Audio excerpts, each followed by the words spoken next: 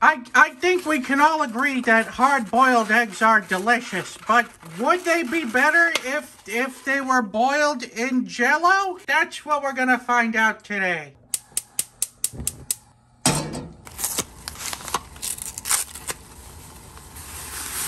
Oh, that that was almost a, a boil over. Ever so ever so gently. You don't you don't want to crack those eggs. Look at look at that look at that jello boil. That's prob that's probably enough. That's that's probably good enough. Now we now we set this in the fridge for you know I guess, I guess a few hours to get this to, to cool down. These eggs are steaming. I, uh, let's let's take a look at the, the the eggs here. They seem to be uh, red.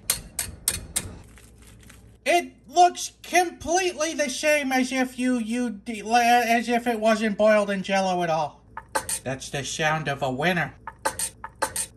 This one shows more signs of being under duress. Let's let's take a bite and see how it is.